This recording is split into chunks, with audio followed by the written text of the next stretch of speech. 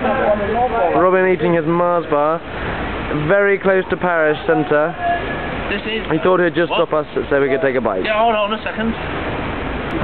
And Hold on, there's the man who had beer with lunch.